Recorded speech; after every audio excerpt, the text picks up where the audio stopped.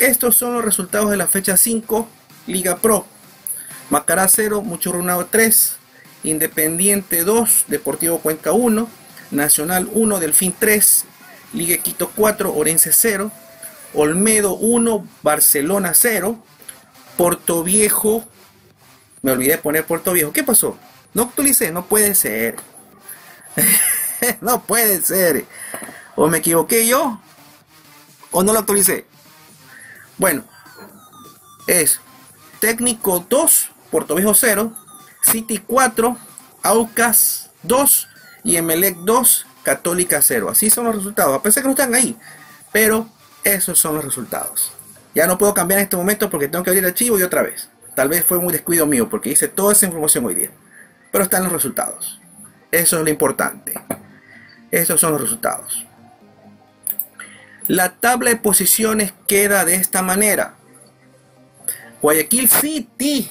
Señores, Guayaquil City. Voy a aparecer otra vez. Para. Ahí estamos. Guayaquil City. Todo el mundo le decía chimbador. Ahí está. Con 11 puntos más 4 de gol diferencia. Segundo Liga Quito con 10. Le sigue muy de cerca al City. ¿Sí? Muy de cerca. 10 puntos más 9. Tercero Barcelona. 10 puntos menos 4. Y, y ojo con el partido independiente que es el mañana. Porque va a haber Liga Pro mañana y el miércoles. No sé cómo va a ser. No sé. A no ser que ya estén concentrados todos y que solamente jueguen los equipos. Eso es otra cosa. Pero si van de la convocatoria, es decir, desde el momento que terminan, yo no sé. Bueno. Aucas en quinto lugar, en cuarto lugar con 8 puntos más 4. Delfín, 8 puntos más 3. Emelec ya está sexto. Emelec, 8 puntos más 2. Y hasta a 2 puntos de Barcelona. Séptimo, Católica, 7 puntos más 1. Octavo técnico, 7 puntos menos 1. Noveno, Deportivo Cuenca, 7 puntos menos 4. Décimo, Muchurruna, 6 puntos menos 1. Onceavo, Olmedo, 6 puntos menos 1. Doceavo, Independiente, que ya tiene 6. Si gana un partido, sube al tercero. Ojo con eso. Ya saben con Catarina le toca. Si empata, sube al séptimo. O sube al octavo, como quieran ver.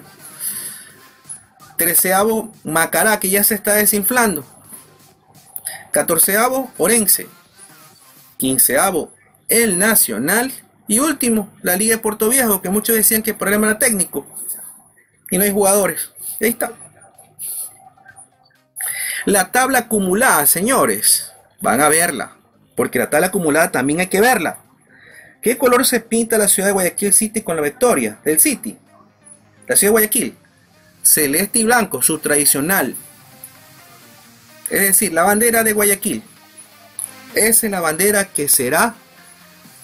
¿Sí o no? Ese es el color que se pinta Guayaquil.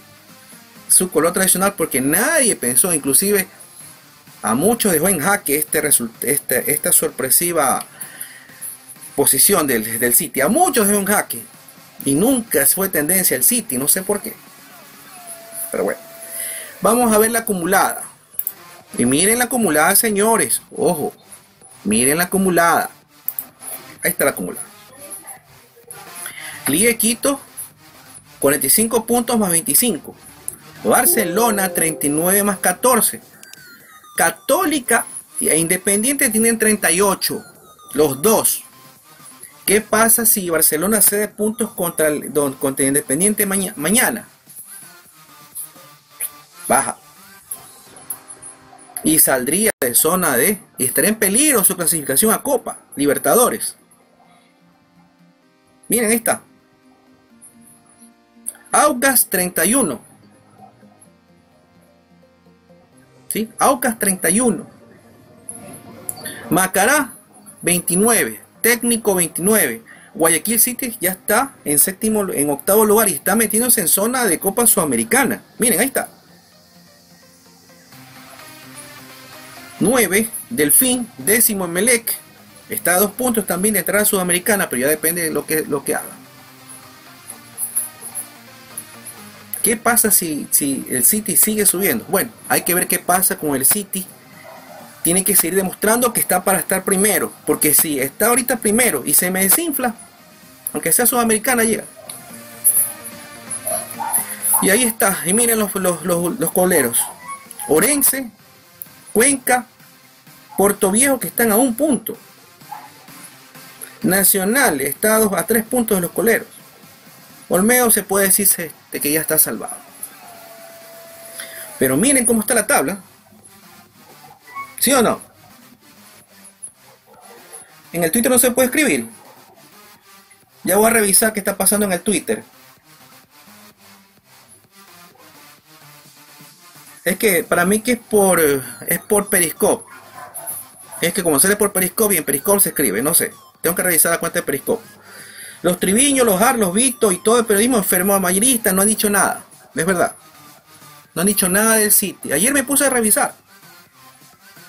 Y no encontré nada del City. Se ponían a hablar de Carapaz, de, Felipe Caicedo. Ya vamos con Felipe Caicedo porque quiero hablar de ese tema. Porque hay mucha, hay mucha inquietudes de ese tema. ¿Por qué no lo convocan? Y así está. ¿Sí o no? Así está la tabla de posiciones. Y los próximos partidos, señoras y señores, aquí están los partidos. Martes y miércoles.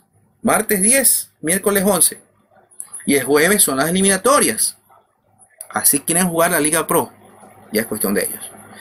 Me pica la nariz, me ya me piqué, ya me rasqué. Martes, Orense Cuenca 12 y 15. Técnico Nacional 2 y 30. Delfín Macará 16 a 45. Barcelona Independiente martes 19 horas. El miércoles Católico Olmedo 2 y 15. Mucho Runa Liga de Quito. Si saca puntos Liga de Quito. Y este partido que termine en empate el próximo puntero es la liga. Si este empata y Liga de Quito gana, porque ustedes ven la tabla, ¿no? Apenas un, un, punto de diferencia. Si este empata con Católica en Quito y, Liga de Quito le saca los tres puntos al Muchurruna, el próximo puntero es Liga de Quito. Y se acuerdan que le puse en un, título anteriormente, Liga puede ser puntero en tres fechas, pero puede ser en dos. Y si Barcelona no le saca tres puntos al Independiente, sigue bajando. Puede seguir bajando. O se mantiene en el tercer lugar. Tiene que sacar los tres puntos. Tiene que sacar los tres puntos independientes. Si quiere seguir, seguir luchando. La pregunta, ¿lo podrá hacer? Nadie lo sabe. Voy a sacar esta de posiciones. Entonces, estos son los partidos. Guayaquil City, Católica Guayaquil City, 16 horas 45 y a, y a las 19 horas Puerto Viejo Emelec. Y ahí Emelec tienes que aprovechar porque ese equipo está de capa caída, Puerto Viejo. Pero el problema, jugaste ayer, a las 18, 18 horas. Lunes, martes, 48 horas, mínimo 72. Ojo con eso. Le puede pesar el MLG el partido. Perdón, es el día miércoles, no, está bien, 72 horas, está correcto.